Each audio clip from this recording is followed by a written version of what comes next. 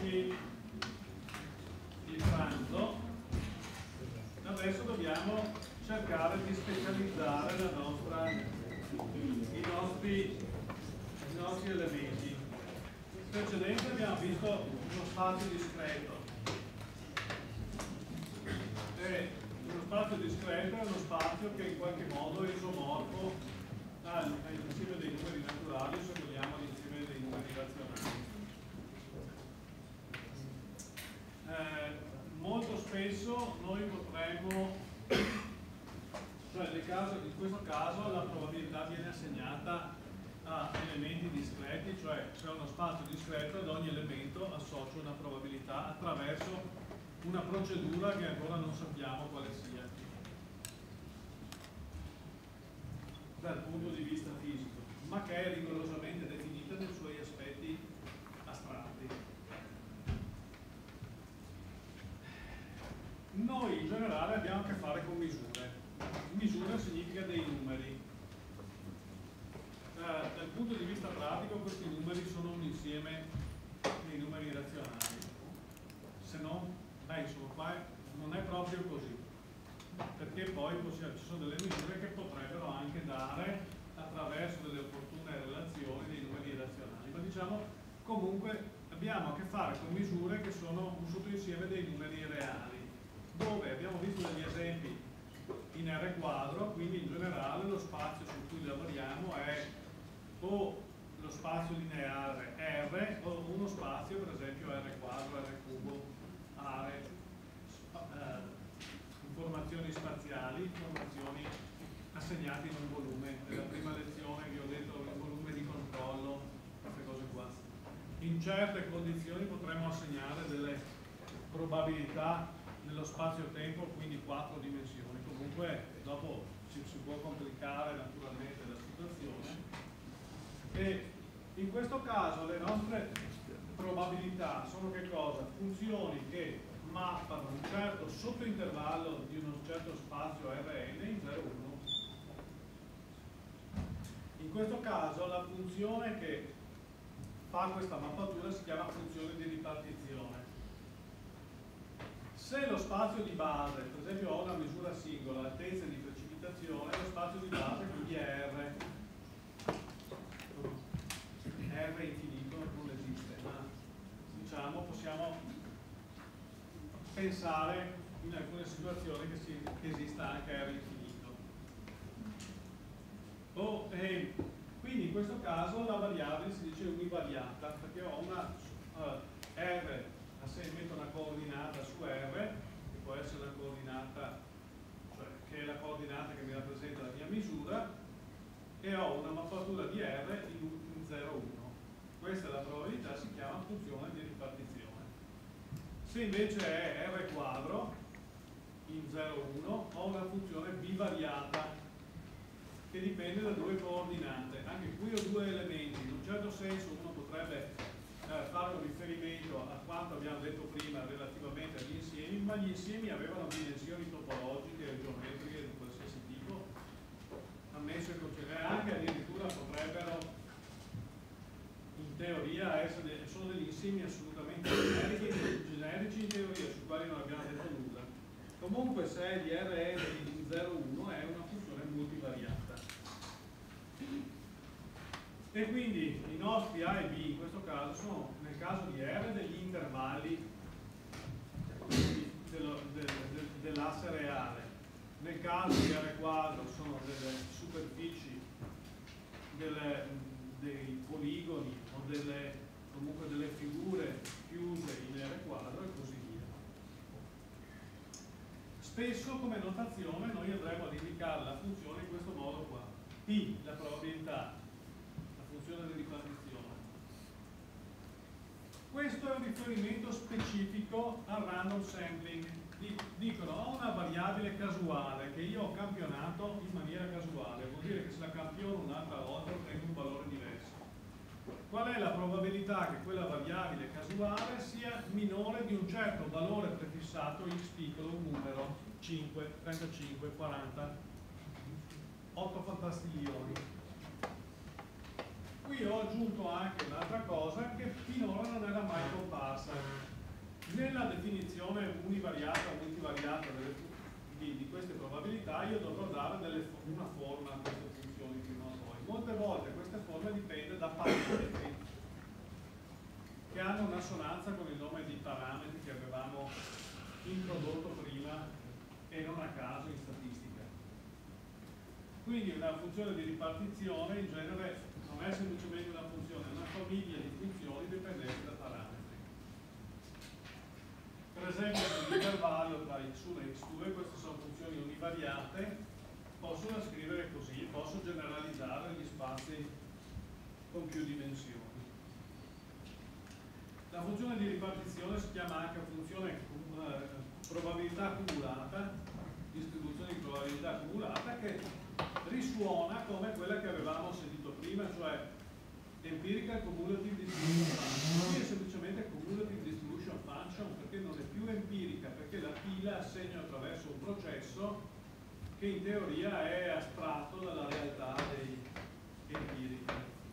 Se la funzione è almeno di classe C1, la derivo ed ottengo quella che chiamo funzione densità di probabilità.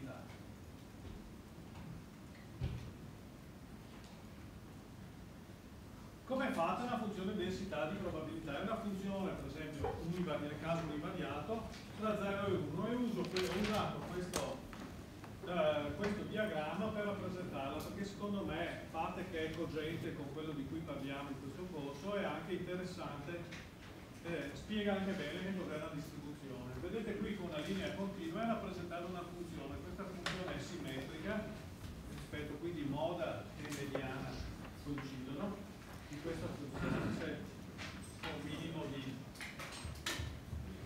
e quindi questa è una funzione densità di probabilità. La sua area è 1 su tutto il dominio di definizione. Qui potremmo pensare che il dominio si estenda da meno infinito a più infinito ma potremmo anche pensare che finisca in un dominio infinito ancora non lo sappiamo non ho scritto che cos'è questo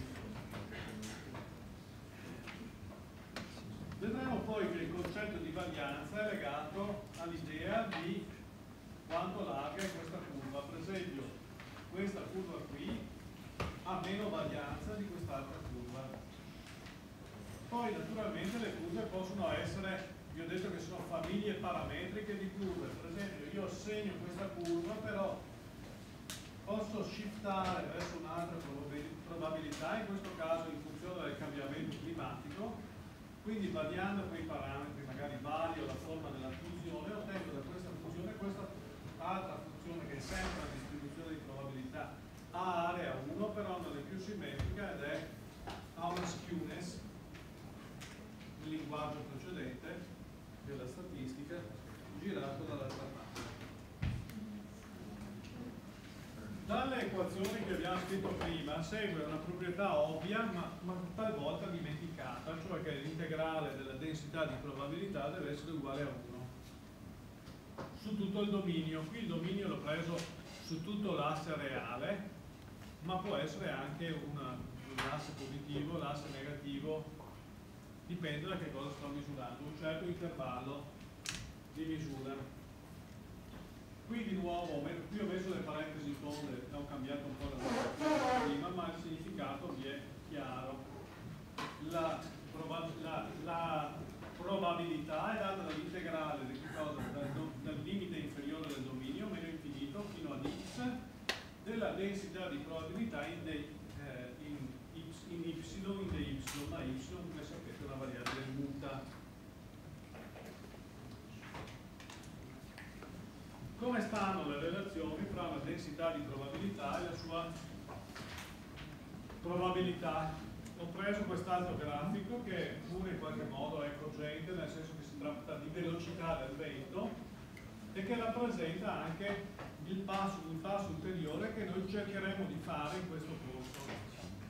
Cioè queste che vedete segnate con delle linee tratteggiate sono diverse curve di probabilità. Sono tutte curve di probabilità unimodali, hanno una sola moda, queste qua hanno una certa anche skewness, sono traslate, sono definite solo sull'asse positivo.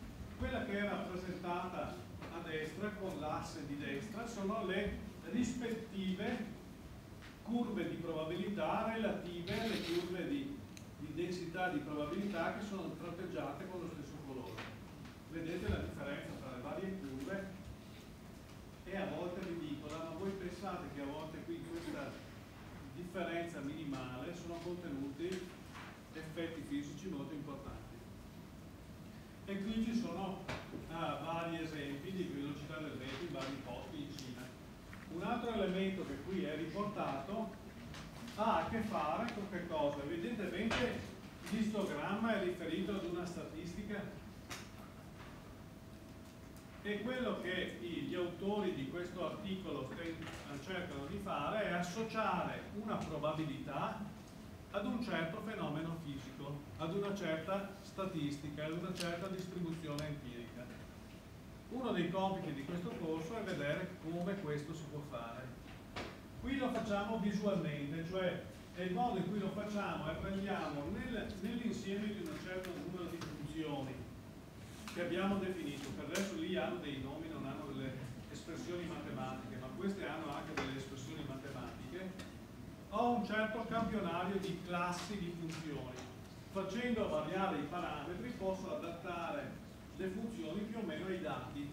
Per esempio questa qui, questa curva qua, si adatta bene a quei parametri così visualmente. È un concetto qualitativo quello che sto esponendo, però certamente se dovessi scegliere fra le due curve, immagino che tutti noi sceglieremmo la curva blu, cioè che è una distribuzione di Weibull, poi capirete che cos'è la distribuzione. Le modalità con cui si possono associare i dati alle funzioni di ripartizione e quindi poi poter applicare tutto quello che deriva dagli assiomi della probabilità sono, è l'arte della, della, della, statistica applicata che noi studieremo e faremo, perseguiremo in questo, corso. Un'ultima notazione sulla, uh, sulla regola di Bayes. La regola di Bayes si può esprimere, cambiando, ho buttato lì due o tre possibili notazioni per le probabilità, non scoraggiatevi se le notazioni a volte cambiano, io non lo faccio perché vi devo addestrare a essere in grado di leggere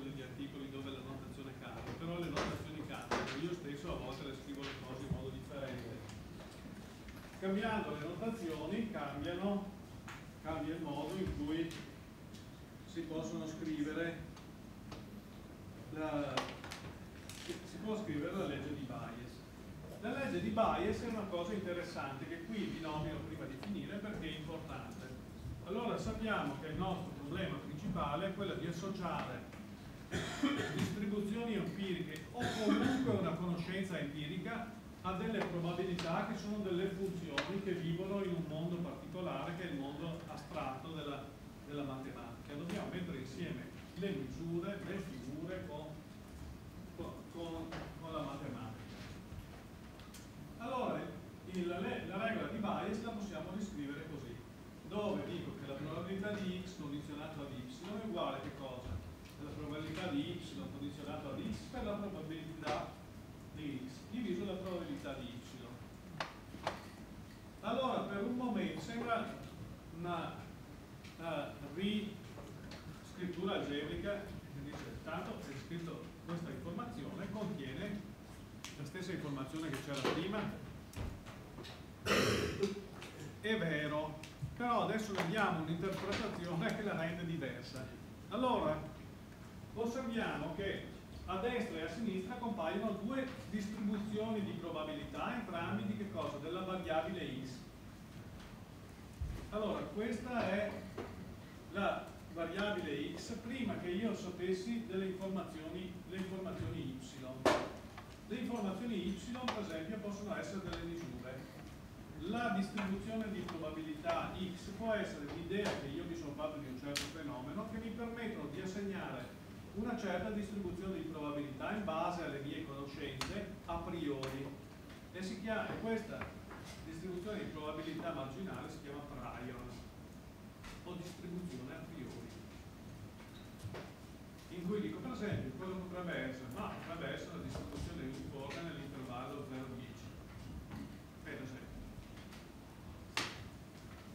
faccio delle misure di queste misure, queste misure attraverso questo termine che si chiama, uh, si chiama uh, likelihood, verosimiglianza, mi consentono di avere la nuova distribuzione, la posterior, la distribuzione a posteriori, dopo che è avvenuta la conoscenza di y, di sempre della variabile x. Cioè questo, eh, la forma di, di bias eh, posta in questo termine mi consente, partendo da misure, arrivare ad, da una idea che ho della probabilità ad un'altra idea della probabilità regolata secondo le misure che ho fatto. Rappresenta quindi, può essere usata per rappresentare un processo di conoscenza iterativo che ha a che fare con l'acquisizione progressiva di conoscenze. Detta così è rappresentata, soprattutto se è resa meccanica attraverso la definizione di regole o di algoritmi o di scelte che permettono di che determinano questa parte qua che è la likelihood, la verosimiglianza, implementano un processo automatico di determinazione della distribuzione degli eventi, cioè della fisica dei fenomeni, man mano che si acquisiscono conoscenze. Però lui che sicuramente ha fatto il liceo scientifico, l'ho tirato a caso, ha fatto anche filosofia e sapeva che Francis uh, Francis Bacon diceva che cioè, il metodo induttivo, cioè si raccolgono sacco di informazioni e da queste informazioni si deduce quello, vengono fuori delle conoscenze. Questo si chiama metodo induttivo, però la scienza che noi conosciamo è ipotetico-deduttiva, non è induttiva. Allora qui si potrebbe avere la sensazione che abbiamo implementato un metodo completamente induttivo che se ne frega della scienza, cioè di 400 anni di storia, per determinare quello che succede da questa parte qua. Beh, evidentemente non è così. Il metodo ipotetico deduttivo sta in varie parti, sta nella definizione della prior, sta nella scelta del likelihood e sta poi nella verifica eventuale di corrispondenza può fare sulla distribuzione di probabilità se questa converge, per esempio quanto velocemente converge a un qualche risultato. Qui dico cose che ho già detto. In verità sulla verosimiglianza alcuni distinguono questo termine complessivo di verosimiglianza in due parti. Quella sopra che chiamano verosimiglianza e quella sotto che chiamano eh, evidenza perché la P di Y, per esempio, è un insieme di misure che noi abbiamo fatto e la distribuzione di probabilità di P di Y è conosciuta. Noi, bah, io adotterò varie, in vari modi queste, eh, questa definizione. Spesso la conoscenza della, della probabilità ehm, dell'evidenza non è neanche necessario in alcune procedure. Ancora vi ricordo che la, tutto questo procedimento comunque non implica rapporti causali, ma solo associazioni tra gli elementi. E in particolare non implica rapporti di causa ed effetto temporali, perché la teoria è molto più generale da questo punto di vista. Ultimo sprint finale.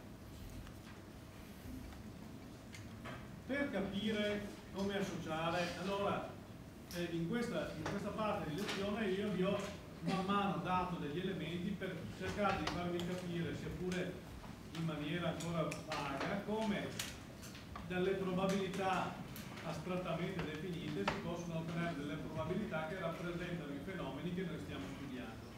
Una è la regola di bias, l'altra prima era l'interpolazione degli, degli, istogrammi, degli istogrammi, per esempio. Un altro elemento importante in questo tipo di analisi è la determinazione quello di trovare una corrispondenza tra le statistiche che vi avevo introdotto in precedenza, in particolare media, varianza e momenti, con media e varianza e momenti che si ottengono quando si conosca la distribuzione di probabilità. Certo ancora non la conosco, ma intanto